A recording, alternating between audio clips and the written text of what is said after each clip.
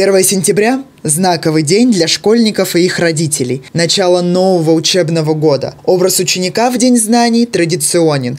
Нарядная школьная форма, портфель, ну и, конечно же, цветы. Именно букет в руках мальчишек и девчонок создает атмосферу праздника – но при его составлении многие родители настолько увлекаются поисками интересных, доступных, а самое главное свежих цветов, что забывают про то, кто их все-таки будет дарить. В магазине «Весна» на новаторов вам помогут не ошибиться с выбором. Самые популярные на 1 сентября это гортензия и осенняя тематика подсолнухи. Но также спросом пользуются как и классические розы, хризантемы и герберы. Также можно взять готовый букет, либо составить, либо композицию. Все зависит от того, в какой класс идет ребенок. То есть э, первоклассники берут поменьше, покомпактнее букеты, потому что они маленькие, и стоять им удобно компактным букетиком.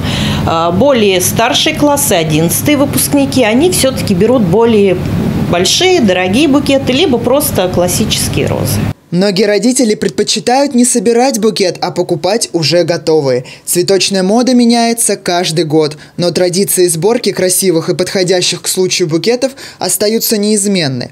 Чтобы немного отойти от привычной сборки композиции, можно добавить особых ноток, включить яркие и экзотические цветы.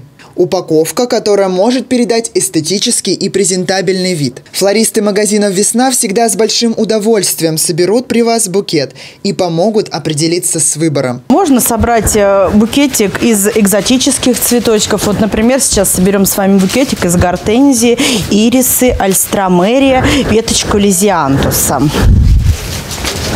Они пользуются спросом, так как они маленькие, компактненькие, бывают разного цвета.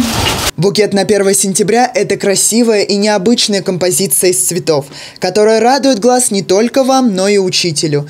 Понятно, что флористы любят и умеют составлять букеты, а значит лучше доверять все-таки профессионалам. Герман Гущин, Станислав Кудряшов, телекомпания «Город».